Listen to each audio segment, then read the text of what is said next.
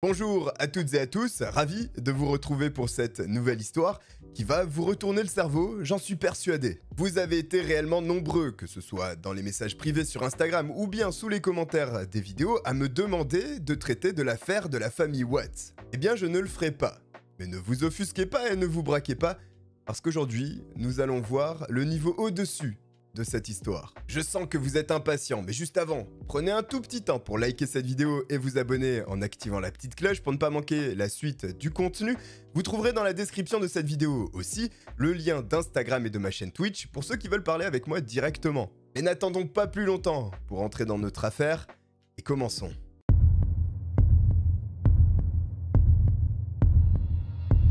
Nous sommes le mardi 10 avril 2001 Scottsdale, dans l'État de l'Arizona. Ce matin, il est 8h42 lorsque soudain, une explosion tonitruante retentit. La maison au numéro 2223, celle de la famille Fisher, vient de voler en éclats.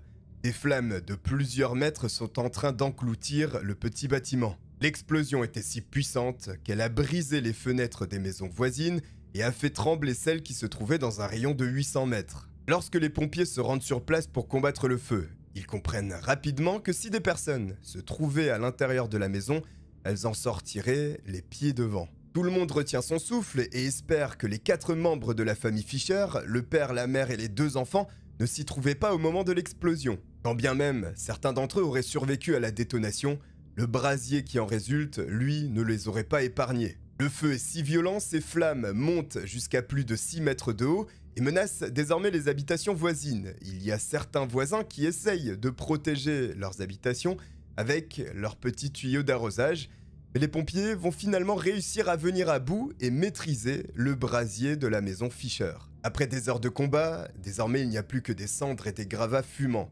Mais il faut inspecter les lieux et vérifier qu'il n'y a pas de victimes. Malheureusement, ce que tout le monde redoutait s'est bel et bien produit.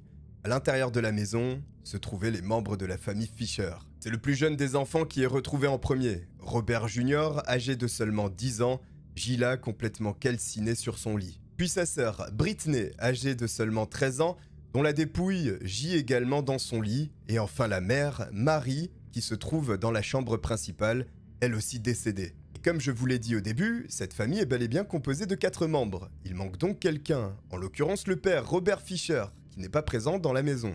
Les pompiers intensifient alors leurs recherches pour trouver le potentiel cadavre de cet homme qui a très bien pu se retrouver sous des décombres. Mais après avoir remué ciel et terre des heures durant, il n'y a aucune trace du père de la famille. Entre-temps, et alors que les recherches se déroulaient, les cadavres des deux enfants et de la mère sont envoyés à la morgue et sont analysés. Ni la détonation, ni le feu ne sont à l'origine de la mort de ces trois personnes. Il faut donc impérativement retrouver Robert Fischer pour en savoir un peu plus sur cette affaire sordide. Oui, mais ce dernier s'est tout simplement volatilisé.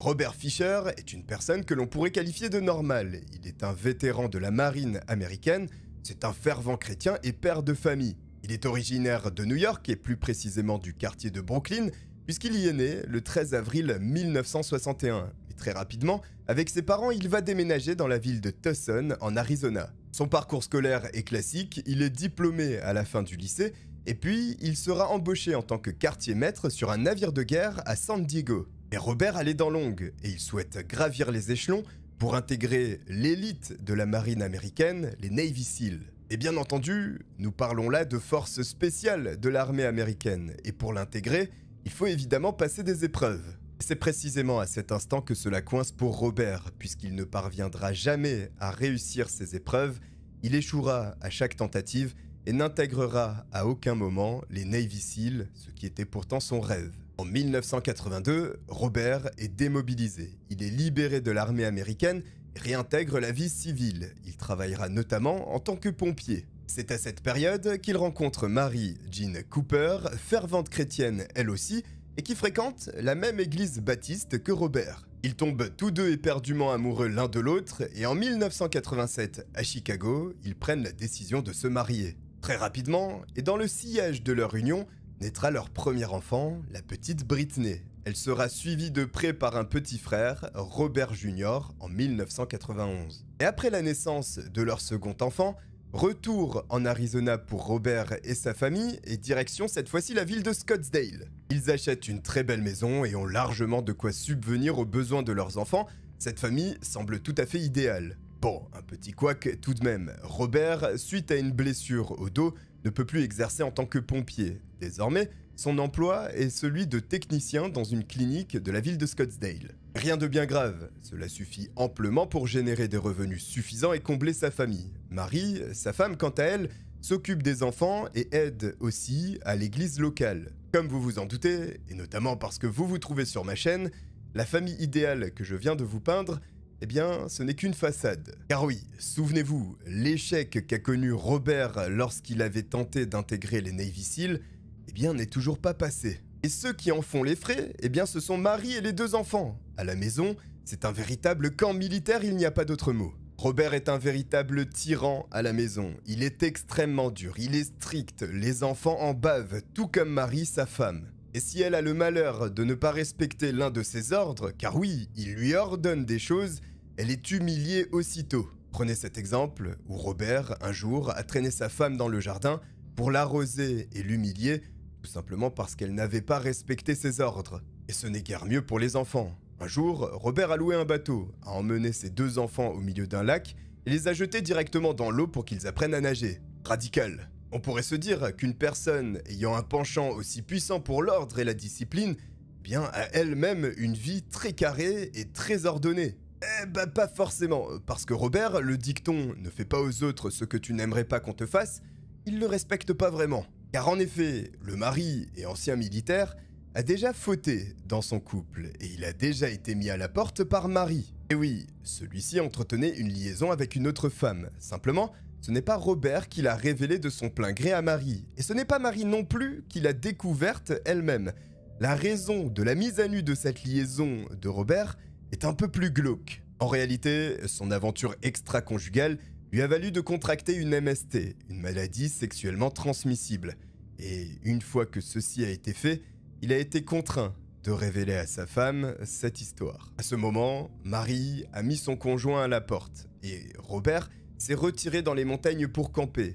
Il a également dit à l'ensemble de ses amis qu'il préférait mourir plutôt que de perdre sa femme et ses enfants. Un peu facile. Et cette forme de chantage affectif euh, va finalement toucher Marie qui va accepter, au bout du compte, le retour de Robert à une condition, et eh bien qu'il consulte. Leur conseiller conjugal sera le pasteur de l'église qu'ils fréquentent tous deux.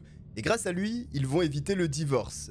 Malgré tout, l'ambiance au sein de la maison reste pour le moins tendue. Et Robert peut-il rester fidèle désormais?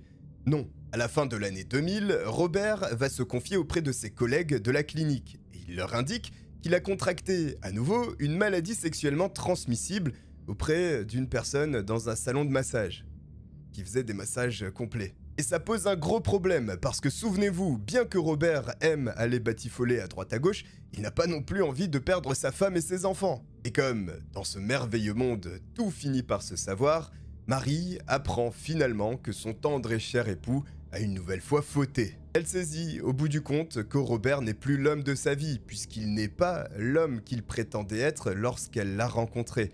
Et elle en parle de plus en plus à des amis proches d'elle. Et comme vous le savez, pour Robert, ceci est intolérable. Il ne peut pas être séparé de sa famille. Le 9 avril 2001 semble être une journée somme toute banale au sein de la famille Fisher. Le père se rend à son travail au sein de la clinique puis à la fin de son service, va récupérer sa fille à l'école. Britney, étant une excellente élève, doit être primée lors d'une cérémonie qui se déroule plus tard dans la journée.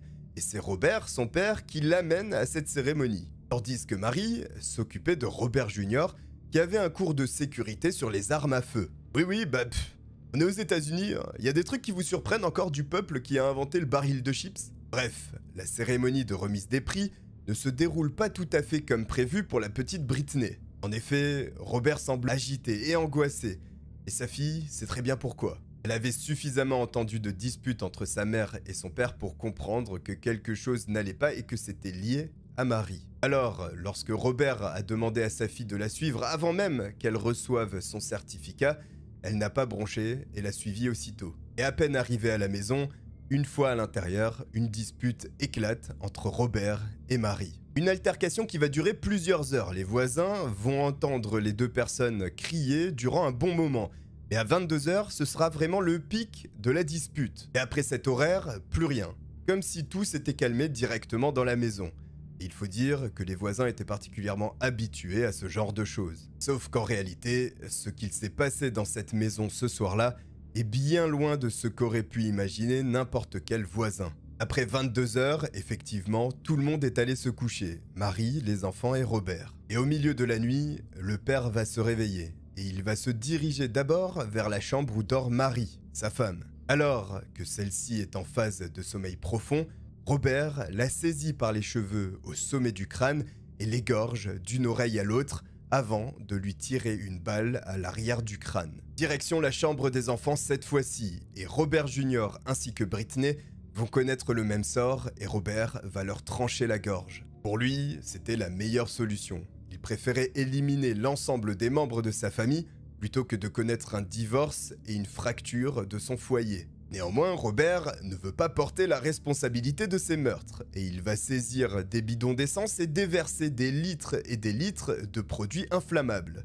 Nous parlons là tout de même d'environ 80 litres d'essence, et il va en répandre véritablement partout dans la maison, y compris sur les cadavres. L'étape suivante est d'arracher un tuyau d'arrivée de gaz et de placer une bougie sur la table de la cuisine. Le gaz, plus léger que l'air, s'est d'abord propagé dans l'ensemble de la maison en remontant puis, au fur et à mesure que celle-ci se remplissait, le gaz a finalement touché la flamme et fait exploser la propriété. La suite, vous la connaissez, c'est tout un quartier qui va trembler et un brasier monumental qui va émaner de la maison des Fischer. Et dans toute cette pagaille, eh bien il y a un problème. Robert Fischer est en liberté. C'est un homme qui vient de tuer toute sa famille, qui est armé et potentiellement dangereux, avec une formation militaire qui plus est. Et ce dernier point est très important. Parce que Robert Fischer a littéralement disparu de tous les radars, et sa formation militaire euh, n'y est pas pour rien. Évidemment, et dans les plus brefs délais, sont délivrés des mandats d'arrêt à l'égard de Robert Fischer, notamment pour le meurtre au premier degré de sa famille, incendie criminel et bien sûr délit de fuite. En outre, les enquêteurs savent que Robert est armé puisqu'il manque dans la maison un fusil de grande puissance ainsi qu'un revolver de calibre 38 qui sont normalement répertoriés à cette adresse. Les agents de police vont contrôler les premiers éléments que l'on contrôle habituellement dans ce genre de cas, et notamment les cartes de crédit. Et grâce à ça, des images de Robert Fischer sont relevées auprès d'un distributeur de billets la veille de l'explosion de la maison à 22h42 soit quelques minutes seulement après les meurtres des membres de sa famille, puisque souvenez-vous, l'explosion, elle, a eu lieu à 8h42, quelques heures plus tard, le temps que le gaz la flamme de la bougie. Sur les images de vidéosurveillance, on peut voir l'homme donc en train de retirer de l'argent, 280 dollars précisément, avec une casquette des Oakland Raiders sur la tête et à l'arrière-plan le 4x4 Toyota de sa femme. Cette découverte, bien qu'elle soit importante avec les indices qui ont pu être relevés sur cette vidéosurveillance, est inquiétante également. Parce que cela signifie que Robert a plus de 10 heures d'avance sur la police. Et avec 10 heures d'avance, il a pu aller dans n'importe quelle direction, vers San Francisco, vers Albuquerque ou peut-être même vers le Mexique. Au vu de l'importance de cette affaire, le FBI est dépêché pour essayer de retrouver Robert Fisher et comprendre comment est-ce qu'il pourrait agir à l'avenir pour l'intercepter. Les fédéraux, alors qu'ils sont en train de récolter les informations sur le fugitif, découvrent qu'en réalité il y avait déjà énormément de signaux d'alarme qui auraient pu prédire que Robert Fisher était en danger et notamment le témoignage d'un ancien ami de l'assassin qui explique qu'après son retour des Navy Seals, Robert avait changé. Il organisait dans des bois des sessions d'exercices militaires pour impressionner ses proches. Et les exercices étaient quelque peu spéciaux. Il y en avait notamment qui consistaient à se faufiler derrière une famille en train de pique-niquer, en toute discrétion bien entendu, et décharger le chargeur d'un revolver en l'air. Ou bien encore, plus folklorique, partir à la chasse d'un élan le capturer et le tuer avant de s'étaler son sang sur le visage. Désormais, cela fait une semaine que tout le monde recherche Robert Fischer et qu'il n'y a toujours aucune trace de cet homme. Il n'y a pas beaucoup de pistes non plus. Un homme, un chauffeur poids lourd, explique avoir aidé une personne qui semblerait ressembler à Robert Fischer, mais cela s'arrête là et cela reste très vague. À présent, ce sont 10 jours qui se sont écoulés depuis la fuite de Robert Fisher et personne ne l'a aperçu.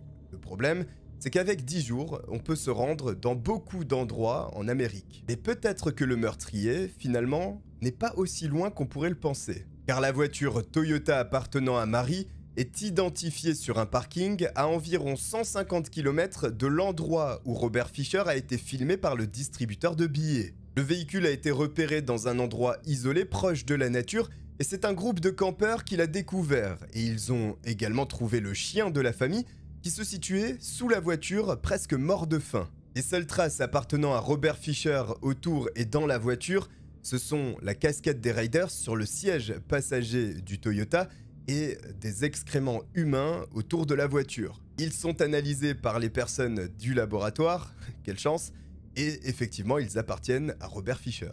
Et là encore, avec ces indices, il y a une bonne et une mauvaise nouvelle. La bonne nouvelle, c'est qu'effectivement, on sait donc désormais que Robert Fisher est potentiellement encore dans le coin. La mauvaise nouvelle, c'est que le coin, c'est une forêt nationale, celle de Tonto, avec 2,9 millions d'hectares. Mais pas seulement, il y a des forêts, il y a des montagnes et éventuellement une personne spécialisée dans la survie qui court là-dedans.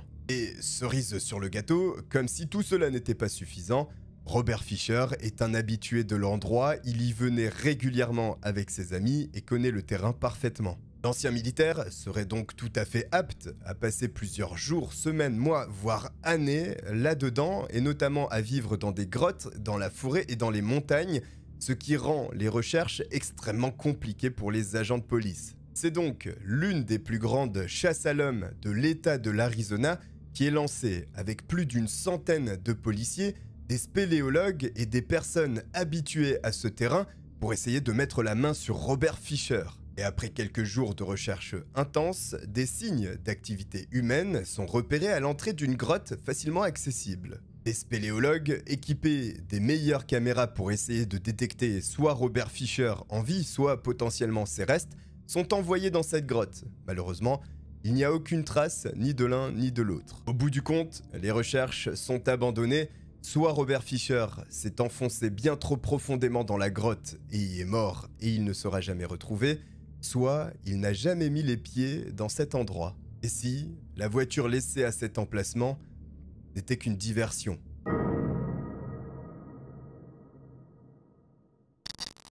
Cette théorie d'une diversion est corroborée par un témoignage qui va faire mal aux enquêteurs. Avec l'effervescence de toute cette affaire, ils reçoivent de plus en plus d'appels, et un en particulier celui d'une dame. Celle-ci explique qu'elle se trouvait avec son conjoint précisément à l'endroit où a été retrouvé le véhicule Toyota utilisé par Robert Fisher. Et lorsque celle-ci a croisé le regard de l'homme, elle aurait fait la remarque à son mari que ce dernier ressemblait à l'homme recherché. Mais n'en étant pas complètement persuadés, ils n'ont pas pris l'initiative d'appeler la police. Et ces événements se sont déroulés une semaine avant que les enquêteurs déploient les recherches dans la région. Et bien que Robert ait campé quelque temps dans la région, il a finalement pris la tangente et décidé de s'éloigner de ce secteur. Mais où a-t-il bien pu passer? C'est une question qui coûte très cher, environ 100 000 dollars, puisque c'est la récompense qu'offre le FBI pour tout renseignement qui permettra d'arrêter Robert Fisher, qui, désormais,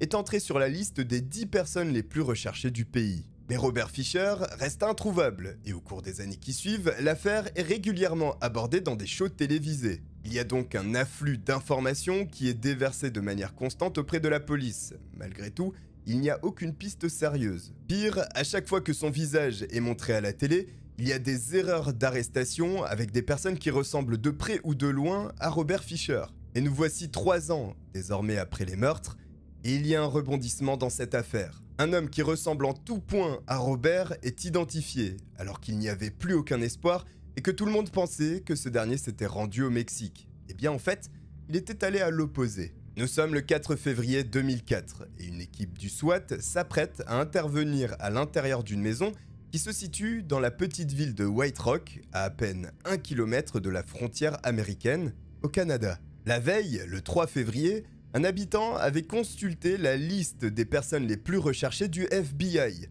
La seule autre personne qui fait ça et que je connais, c'est Rafu. Bref, ce voisin a rapidement eu des doutes sur la personne qui vivait quelques portes d'entrée plus loin dans la même propriété. D'autres signalements de cet individu dans la région de Vancouver ont été relevés, ce qui signifie que Robert est en train, peut-être, d'utiliser une fausse identité canadienne pour vivre dans le pays. Et la maison dans laquelle il vit est celle de sa nouvelle petite amie. Et actuellement, il est en train de dormir avec elle alors que les agents du SWAT l'encerclent. Il est l'heure, les policiers prennent d'assaut la maison, défoncent la porte d'entrée et partent à la recherche du fugitif, qui se rend compte qu'il y a quelque chose qui ne va pas et tente de s'enfuir par l'arrière de la maison. Malheureusement, les policiers bien trop précautionneux avaient anticipé ce comportement et l'ont cueilli à l'arrière de la maison. Robert Fischer est finalement appréhendé après toutes ces années de cavale et il va devoir répondre de ses actes devant la justice. Malgré sa fausse identité canadienne,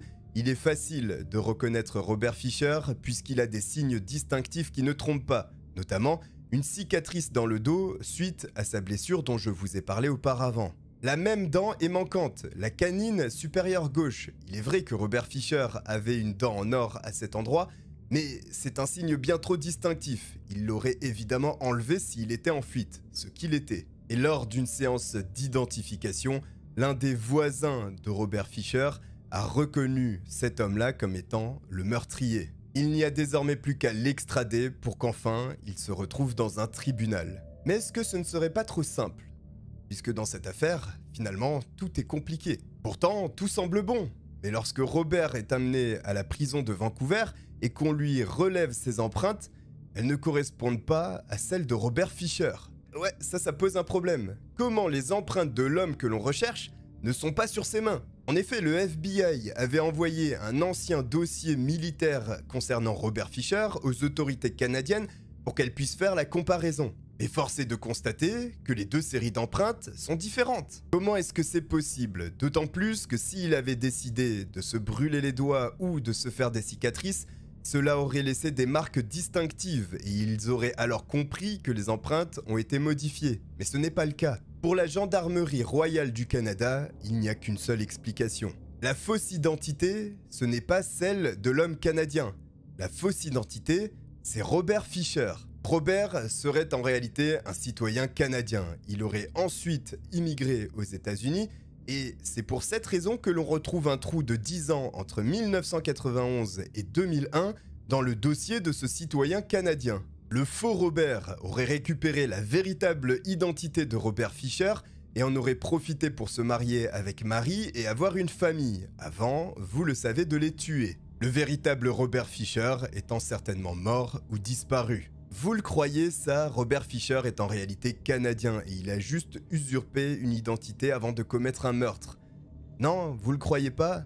Le FBI non plus. La gendarmerie royale canadienne dans cette affaire a tout simplement pété un câble. Il n'y a pas d'autre terme, cette histoire est totalement absurde. Le FBI a des traces dans les dossiers militaires, a remonté toute la famille de Robert, ils connaissent tous ses antécédents et vous vous doutez bien que si quelqu'un était venu usurper l'identité, il s'en serait rendu compte. D'autant plus que les autorités canadiennes parlent d'un trou entre 1991 et 2001, mais Robert Fisher a rencontré sa femme avant 1991, puisque c'est la date à laquelle il a eu son deuxième enfant. Et le fait que cet homme soit un véritable sosie de Robert, au niveau du visage, du corps, mais également des cicatrices, de la dent, eh bien, cela a mis totalement en déroute la gendarmerie royale canadienne qui a préféré croire à une version absurde plutôt que d'admettre que ce n'était pas Robert Fisher en phase 2. Mais on pourrait les comprendre. Quelles étaient les probabilités pour que cette personne ressemble physiquement à Robert et la même cicatrice, la même dent qui manque?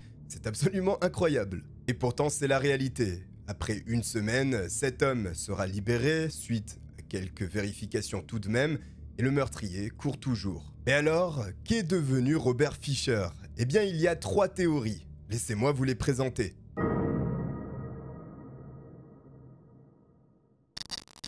La première est que Robert se serait effectivement retiré dans les grottes et les bois pour esquiver la police, mais surtout pour mettre fin à ses jours. Certains pensent que cette hypothèse n'est pas plausible puisque nous n'avons retrouvé aucune dépouille, aucune trace de Robert Fischer dans ces bois ou ces grottes, Pourtant, l'hypothèse ne peut pas être écartée, puisque, comme on l'a expliqué auparavant, il se peut qu'il soit effectivement décédé quelque part sans que le vaste terrain n'ait pu être fouillé et recherché entièrement. Et un élément qui vient étayer cette thèse est le fait que Robert a exprimé à maintes reprises préférer mourir plutôt que d'être séparé de sa famille. Or, il n'est pas improbable qu'il ait mis à exécution ses menaces après avoir tué ses enfants et sa femme.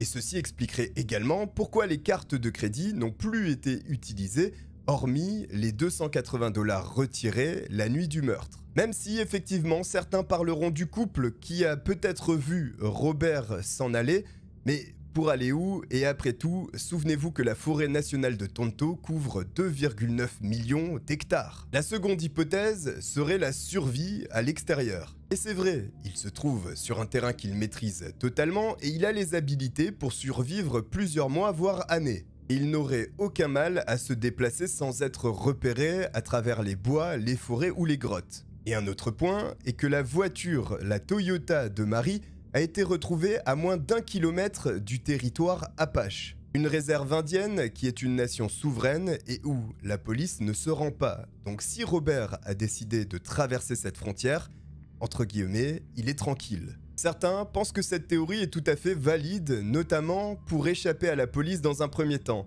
Mais la plupart des spécialistes sont sceptiques sur le fait que Robert Fisher soit resté toutes ces années dans la réserve indienne. Il serait sorti un moment ou un autre selon eux. Et ceci nous amène à la troisième hypothèse. Après potentiellement être resté quelque temps dans la réserve indienne et avoir échappé aux autorités, il aurait pu ensuite reprendre une vie sous une fausse identité. Et cette version semble tout de même plus probable à cause notamment de sa blessure au dos. Et les inspecteurs eux-mêmes reconnaissent que si Robert a réussi à obtenir une fausse identité, il a pu se rendre n'importe où sur la planète. Et si vous pensez que vivre sous une fausse identité, ce n'est bon que pour les films que l'on voit au cinéma, le FBI recense pas moins de 200 000 fugitifs vivant de cette manière sur le territoire américain. Par conséquent, il se peut même que Robert continue de vivre à l'intérieur des États-Unis. Alors je vous le demande, où est Robert Fisher Quelle est votre théorie? Est-ce qu'il vit dans les grottes? Est-ce qu'il est mort? Est-ce qu'il vit sous une fausse identité? Ou alors, vous avez même une autre idée? N'hésitez pas à l'inscrire en commentaire. Voilà, en tout cas j'espère que cette rocambolesque histoire vous a plu. Honnêtement et personnellement, j'aimerais bien qu'on retrouve Robert Fisher un jour, même s'il y a très peu de probabilités, pour avoir le fin mot de cette histoire. En tous les cas, n'hésitez pas à liker si ça vous a plu, à vous abonner pour ne pas manquer la suite du contenu. Je vous remercie de m'avoir regardé, je vous dis à très bientôt. Ciao